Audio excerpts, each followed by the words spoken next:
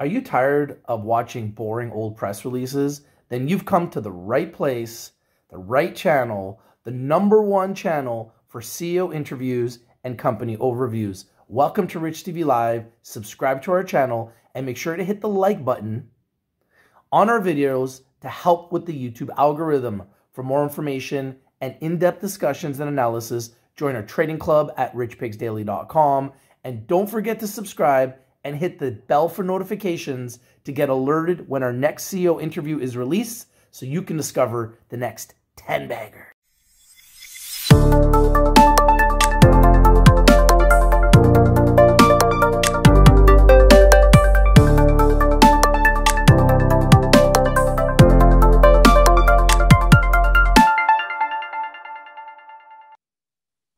How is everybody doing today? I'm your host, Rich, here on behalf of Rich TV Live with our very special guest, Igal Sudman, the CEO of Ayurcann Holdings Corp. How are you doing today, Igal? Oh, fantastic. Thank you for having me on. Always a pleasure. Excited to have you on the show. First time guest. Thank you for joining us today. And I wanted to start off by talking a little bit about the company which just stated that it will be entering into the Canadian recreational cannabis market. And we were wondering, what is Ayurcann's go to market strategy? So, thanks uh, again for having us and, and uh, getting our message out. Um, we are really positioned as, as a B2B play in the cannabis space. We work with a variety of different LPs. Uh, we process on a continuous base, uh, um, over a thousand kilos a week of biomass. We have uh, a lot of distillate available, uh, both on the THC and CBD side, uh, which is substantially different than majority of LPs that are playing in the cannabis space. Uh, we have probably three or 400 kilos at any one time available uh, for these LPs or other brands. We have a variety of different licenses. We have our R&D licenses, um, processing licenses, and now we have our, our sales license as well. Um, with a sales license, we find that a lot of uh, LPs as well as brands um, need need and, and require that relationship in order to put uh, those products on the on the shelves. In uh, in Canada, a lot of things get not a lot of things. All the things are getting sold through the boards, uh, through the liquor boards and and uh, the cannabis boards uh, in every province. Um, so our strategy is really to partner with best in in class brands and LPs um, that are able to produce, market, and sell their products through us, uh, especially with the fact that we are, um, you know, producing the, the distillate or the, or the formulations, as well as packaging and being able to bring a, a valuable product and a valuable proposition into the recreational space. That's fantastic. Now, Ayurcann is also planning to complete its phase two facility sometime this year. What can you tell us about the work currently underway for phase two? And once complete, what does that mean for Ayurcann? Yeah, um, so we are basically about 80% complete now. Um, I think that uh, we'll be able to uh, get that up and running uh, over the next four to six weeks. Uh, the intention is, uh, I think we pretty much um, you know, actively pursuing the uh, the co-packing business. Um, we are producing right now, like I said, over a thousand kilos a week of, of input biomass.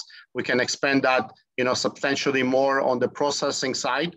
When it comes to formulation, filling, uh, and packaging, right now we're able to do about a million filled packages a year. Uh, with the expansion, we should grow that to about three million units um, and grow from that as required. We have the space for both storage and production. Um, and that's sort of the intention. I think that uh, uh, we're very responsible of how we spend money, um, you know, and, and we do things quite quickly. Uh, and like I said, I think four to six weeks is, is sort of the time frame of, of having more production um, at par and, and phase two build out and, and starting to produce uh, uh, more than what we produce right now.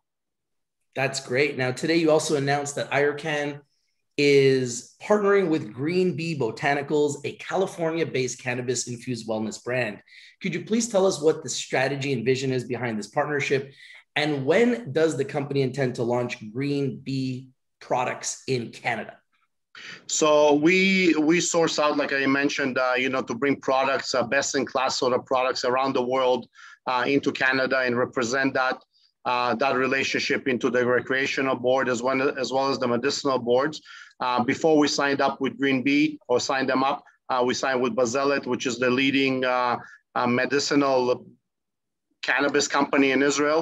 um, uh, or the largest one as well. California, we went there. There's obviously a lot of brands. Green Bee is a, an award-winning women-led um, initiative in the topical space. They've won multiple awards as best in class. Um, we can really talk about in Canada based on regulation on the fact of how good their products are and what they do um, uh, for skincare and both in health and beauty.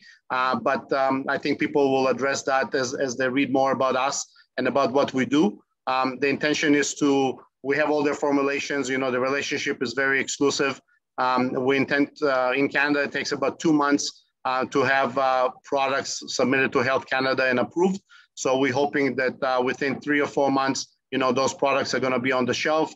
We're addressing the formulations now. Obviously, we have the, the active component, the cannabinoids that are required both on the THC and the CBD side. What we do intend to bring to market is that a lot of products that are made in the US, especially in California, have a lot less cannabinoid content. So it could be, you know, 50 milligram or 100 milligram total of THC and CBD. Um, our formulation uh, that the ones we work with them on um, is going to be probably the two, three, four, 500 milligram uh, in a container, which is at least twice, if not, you know, four, four or five times more than what's available right now in the rec space in Canada. And on the medicinal side, as you can appreciate, their formulation is award winning. Um, our co-packing and, and responsibility is, uh, is in place. And I think it's a winning formulation. That sounds great. Sounds like you guys are on the right track. Now, we talked about the share structure earlier today, and we really love fundamentals here at Rich TV Live. We really like to understand the fundamentals. And two things that have really caught my attention I like your share structure 119 million fully diluted and no debt. That is extremely important for us in our community here. Can you talk a little bit about your share structure and maybe how many shares are held by insiders? Yeah. Um, so like we like you mentioned, you know, earlier we talked about the fact that um, you know, we believe that putting our money where our mouth is together with our friends and family. Um, so it's about 120 million fully diluted. Uh, both myself, my partner, family, and friends, and very close uh, hold probably 60 to 70 million shares out of that. Uh, you know, so we're very entrenched into the company. Um, you know, we're locked up obviously for three years uh, with no intention of, you know, of going anywhere. Uh, we believe in aligning ourselves with uh, uh, not only family and friends, but also investors that believe in us. You know, we feel very responsible of using people, other people's money, um, and and not wasting it or spending it uh, when there is no need to it. Um, and and uh, I feel that uh, you know moving forward, that's not going to really change. We don't intend to take on any debt. Uh, we don't have any debt. You know, we invested whatever we invested, invested you know personally. Um, we did a small raise when we went public for about 500,000 a couple of months ago. It was oversubscribed, you know, and and we we came out. I think it was 18 or 19 cents that people subscribed with a warrant. So you know, we believe that everybody that sort of uh, believes in us. We want them to to go for the ride with us, uh, and uh, for it to be a winning proposition for everybody. I love it. This is music to our ears. I know our community we love to go for rides. Now, when I went through your website, I noticed that you have a section called Marketplace. Now, this is very unique. I love this plan where it plans to distribute cannabis products to medical patients in Canada. When does the company expect to launch its official marketplace? And what kind of products will the company be launching through its marketplace? So our strategy on, on the marketplace is, is twofold. Uh, one, obviously, you know, dealing with the cannabis uh, medicinal users in Canada and being able to sell to them directly instead of going to the boards. Uh, that's what's available and, and allowed. Um, the way we're structuring it, it's right now in beta. People are able to sign up with a prescription. Um, right now, if they call us or, or they, they send an email, uh, we can get the prescription filled um, on the products that we have. Uh, we find that the, uh, the strategy is really to give them a more beneficial uh, value. Uh, so a lot of products that are available at higher potency um, and higher concentration are available on the marketplace directly to, to medicinal users at a cheaper rate that they can buy recreationally a little secret there um, and, and, being able to we believe in value you know be it an investor be it uh, you know a consumer and so forth uh, the marketplace, the way we intend to do it is, is really a, an Amazon model. Uh, so other the, the fact that we have our own products for sure, um, we're also able to fulfill package manufacture for other LPs that may not have the access to the recreational markets because you know it's a monopoly. Uh, so us being able to manufacture that, offer that through the marketplace, they can offer it to their own users, their own medicinal patients that they may have lined up and, and signed up um, at a substantial discount. So they get the, you know, all the revenue directly uh, and, and can deal with them directly. We don't intend to sell obviously only our products. The idea is to have an Amazon type of uh, uh, structure or a marketplace where all the LPs or any LPs that is able um, to produce product will work on a drop ship model where, you know, we'll obviously promote it, advertise it, you know, do all the legislation that is required around it, um, take a much smaller cut uh, that, um, you know, is being done now um, in, the, in the industry. And, uh, and uh, there's more money lining up the LPs uh, that are making products right now, um, as well as producing new products on a continuous basis. Wow, that sounds great. It sounds like you guys have a lot on the go. Congratulations on all your success so far. The CEO of Ayurcann Holdings Corp Igal Sudman. Thank you for joining us today, Igal. Thank you very much for having me. Looking forward to more.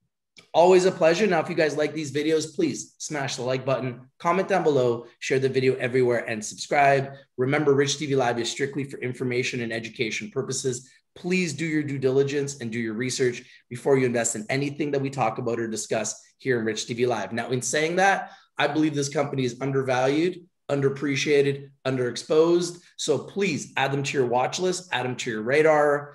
We bring you the winners and we bring them to you first. I believe this is a company that has incredible upside. Like we said, no debt, tight share structure, strong management team in a growing company, growing revenue in a growing industry. So I think the upside is tremendous. Thank you for your time today, Igal, and we'll talk to you soon.